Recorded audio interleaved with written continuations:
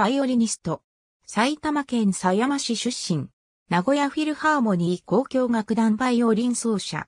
2008年東京音楽大学を卒業。2015年日本演奏連盟主催オーケストラシリーズに出演、梅田俊明式名古屋フィルハーモニー交響楽団とコルンゴルトのバイオリン競争曲を共演。2018年名古屋ゾリス展を創設。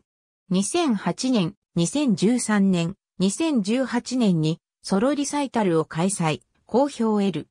在学中より弦楽四重奏、ソリスト、ゲスト演奏、国内プロオーケストラへの客演やレコーディングなど様々な活動を行っている。2013年8月より名古屋フィルハーモニー交響楽団バイオリン奏者。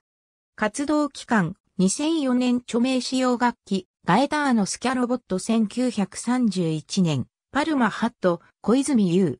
www.facebook.com 2020年1月5日閲覧。学院紹介名古屋フィルハーモニー交響楽団。オフィシャルページ。名古屋フィルハーモニー交響楽団。オフィシャルページ愛知県名古屋市を中心に東海地方を代表するプロオーケストラ。名古屋フィルハーモニー公共楽団公式サイト。楽団の紹介やコンサートスケジュールやチケット案内など。2020年1月5日閲覧。ありがとうございます。